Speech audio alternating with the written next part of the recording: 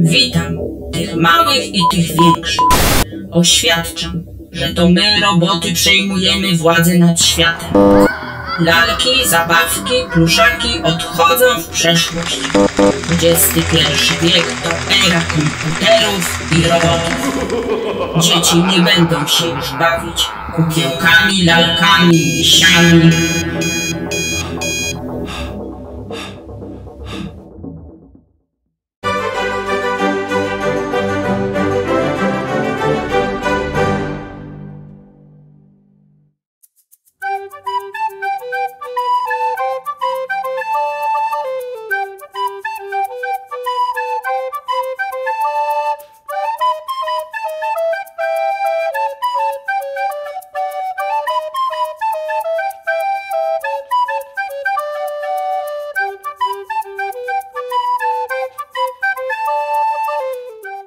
Jesteśmy w pracowni internetowej Orange w Miejskim Ośrodku Kultury w Porębie i rozmawiam z panią Martą Wcisło.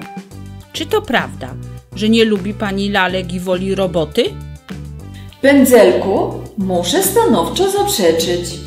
Uwielbiam zabawki. Będąc małą dziewczynką, bawiłam się lalkami i miałam swojego ulubionego misia Feliksa. Roboty to duża część mojego życia, a to dlatego, że są związane z moją pracą. O, to dobrze. Trochę się uspokoiłem, bo bałem się, że zrobi pani ze mnie robota. Spokojnie! Właśnie znajdujemy się w pracowni internetowej Orange, w której prowadzę zajęcia z robotyki dla dzieci, a także warsztaty z obsługi komputerów i tabletów dla dorosłych. Muszę Ci powiedzieć, pędzelku, że ostatnio pracownia wygrała trzy laptopy w konkursie dotacyjnym z Fundacji Orange. Czy programowanie jest trudne? Co zrobić, aby brać udział w warsztatach z robotyki? Programowania może nauczyć się każdy. Dlatego zapraszam wszystkich w wieku od 6 do 100 lat do naszej pracowni. Ciebie także, pędzelku. Wystarczy mieć tylko trochę wolnego czasu i dobrych chęci. Ostatnim naszym zakupem jest drukarka 3D, która pozwoli na drukowanie trójwymiarowych przedmiotów, co umożliwi pobudzenie wyobraźni i kreatywności naszych mieszkańców.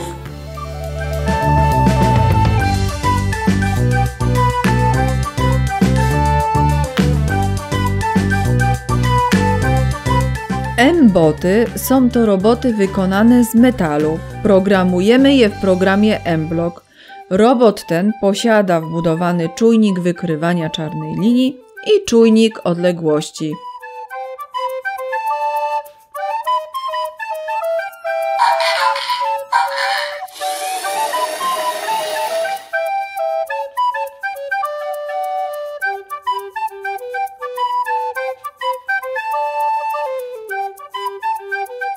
Robot pojazd edukacyjny jest wykonany z klocków Lego i posiada wbudowany czujnik dotyku i koloru. Możemy programować go w aplikacji Lego Commander.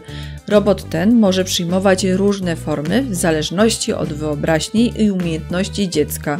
Może być pieskiem, słoniem lub zającem. Płytka Microbit jest to płytka służąca do nauki programowania w języku Python.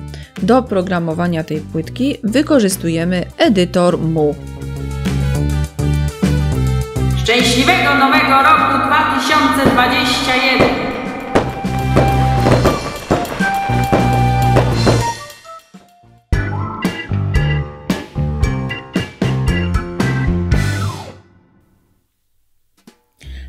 Fajne te roboty.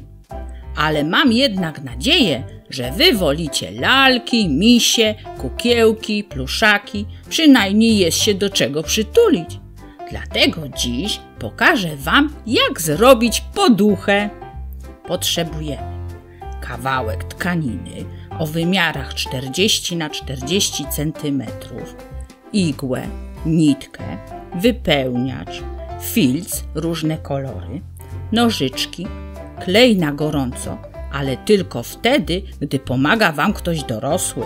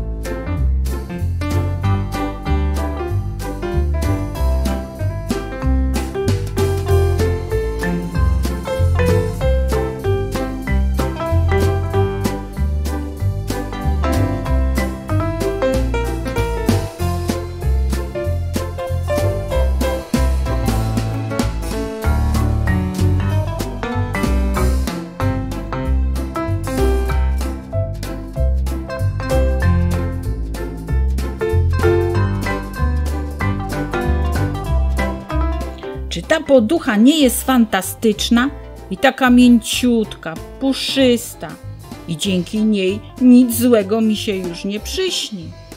Maluję, to znaczy całuję. Kocham was, a wy kochajcie porębę. Pędzelka porębę. Pa pa!